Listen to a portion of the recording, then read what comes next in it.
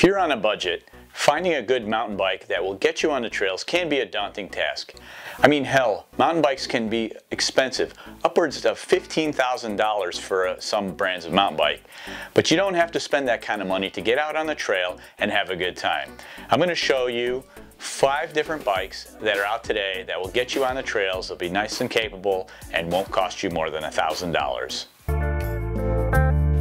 The great thing about mountain bikes these days is that a lot of advancements in high-end bikes are trickling down to the entry level, which means that you'll get a capable bike for a lower cost.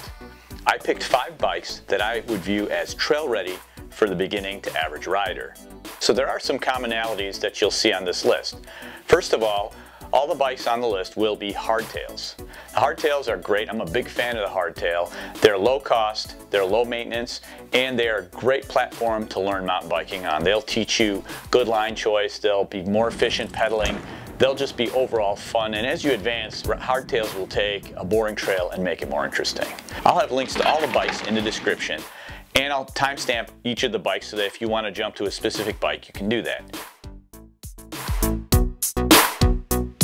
Kona is really one of the storied brands of mountain biking. It's been around since 1988 and actually started its history as a maker of hardtail mountain bikes.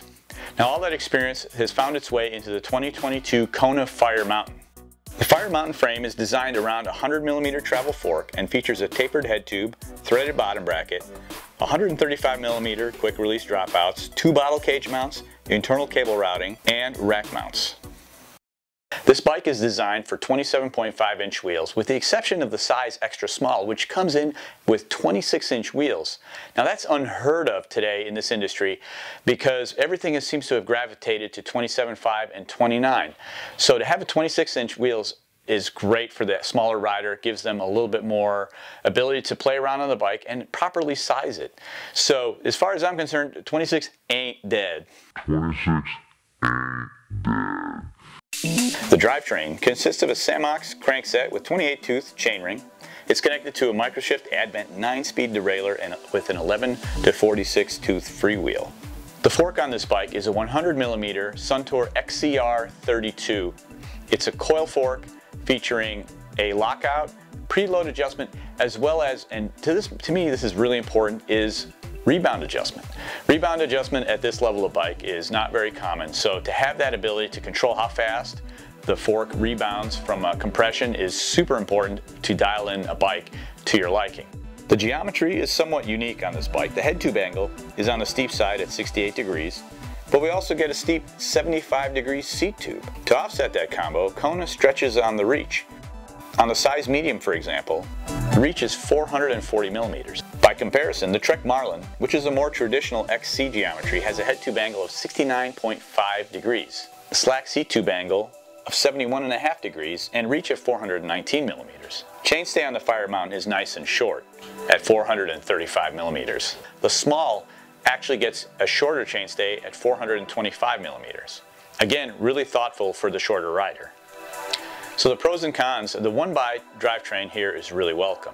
What's not welcome, however, is the freewheel instead of using a cassette. The freewheel is not as common and you're not going to find as many uh, aftermarket options in a freewheel. It would have been nice to have spec a cassette. Now if you want to install a cassette, you're going to have to change out the hub or the rear wheel entirely. The 27 millimeter internal width wheels are really good because they offer you the ability to run a little bit fatter tires. It's a really robust looking frame it just has that classic Kona look, which I think it will appeal to a lot of people. Plus the frame is backed by a lifetime warranty. Marin is another storied brand that has a history dating back to the earlier days of mountain biking. The Marin Bobcat Trail is a great example of classic design featuring modern geometry. The 6061 aluminum frame features an oversized head tube, threaded bottom bracket, dual bottle cage mounts, internal cable routing, 135mm quick release dropouts, and rear rack mounts. The wheel size is size specific, with extra small and small getting 27.5 inch wheels, with large and extra large getting 29 inch wheels and the medium gets your choice of either 27.5 or 29 inch. The fork is the SR Suntour XCM which is 120 millimeters travel. It has 30 millimeter stanchions. It features a preload adjustment as well as a hydraulic lockout. The frame features its fastback seat stay design, which Marin says it provides vertical compliance without sacrificing power transfer. What this means is the frame has a little bit of give to help dissipate some of that chatter that you encounter on the trail. The bike has a 1-by drivetrain and it's centered around the highly regarded 9-speed Microshift Advent derailleur and shifter which is connected to a Sunrace 11 to 46 tooth cassette. The cranks are an unbranded square taper design with a 32 tooth chainring. The cockpit is Marin branded. Brakes again are the Tektro M275s. The wheels are Marin branded and they're double wall for durability. The tires are WTB Trail Boss tires, which are well known, good all around tires. I said earlier that the bike has a classic look, but the geometry is far from that. This bike has a 67.5 degree head tube angle with a 74.5 degree seat tube angle. Now both of those are progressive by today's standards. In addition to that, they have longer reach numbers and shorter chainstays, which is going to give you some stability while also allowing the bike to be more playful. I really like the 1x drivetrain setup here. You get an Advent microshift, clutch derailleur, you have a Sunrace 11 to 46 tooth cassette, which is ample range to get you through most trails. The 120 mil travel is really welcome here, but I would have liked to have seen a little bit more of a robust fork on this bike. Uh, the 120mm XCM with 30mm stanchions just seems a bit flimsy for a bike this progressive. It would have been nice to see them put the 32mm XCR instead, which I think would have provided a lot more value. Another storied brand on this list, we're out going three for three now, is Rocky Mountain. Rocky Mountain has been around for 40 years. They have two bikes on this list, and the reason I have two bikes from Rocky Mountain on this list is because they're both essentially the same bike but with different wheel sizes. And everyone has a preference for wheel size, so I wanted to include them both. The Rocky Mountain Fusion which is a 29er, and then the Rocky Mountain Soul, which is a 27.5 inch bike. The Fusion and the Soul are Rocky Mountain's entry-level bikes, and their geometry pushes deep into trail bike territory.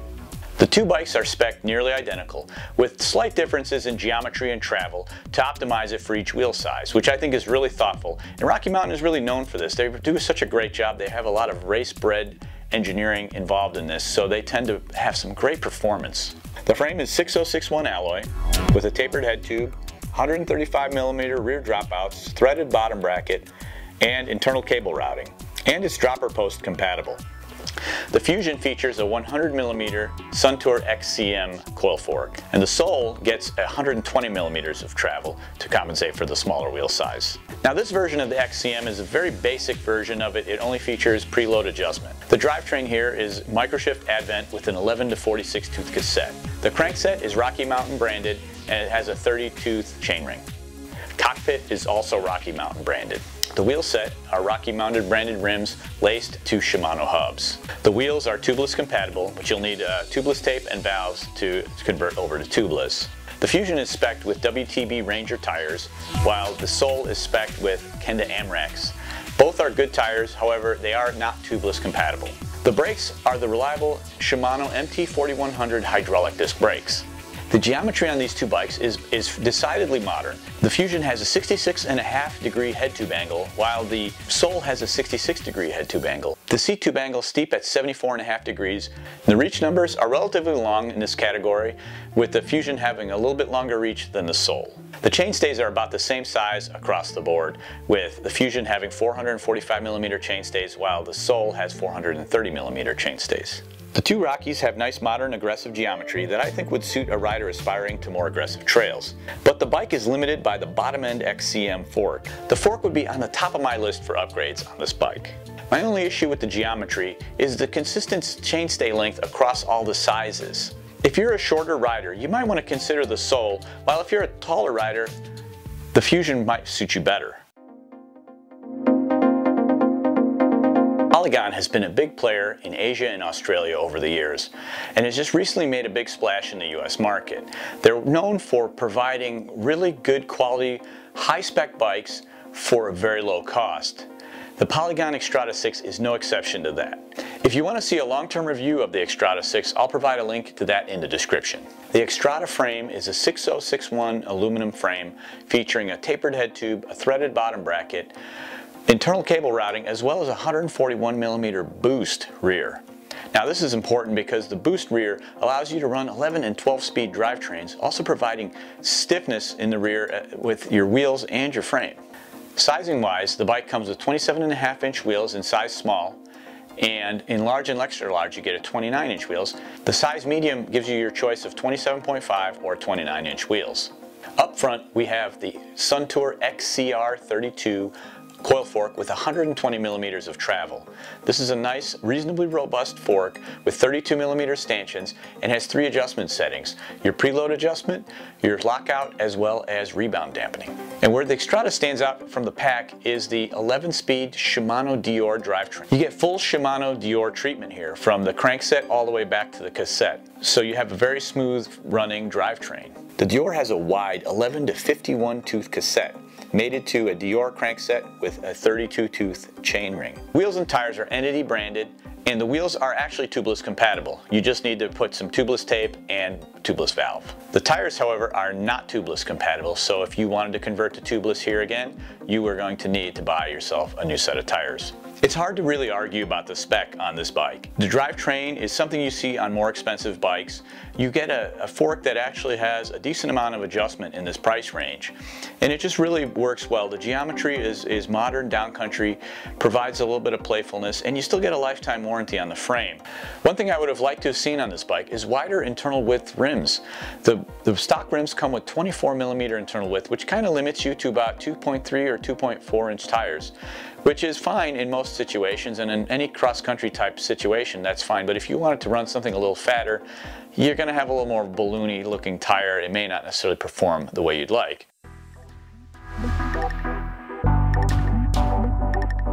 So early in the video I mentioned there are two honorable mentions that I wanted to talk about.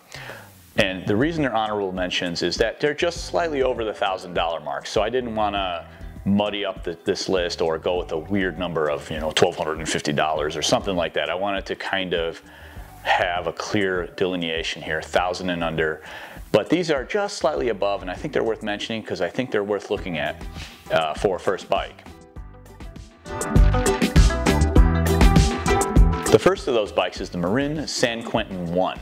Now, Marin is, a, again, we mentioned earlier, a storied brand, been around a long time, based out of Northern California and the birthplace of mountain biking.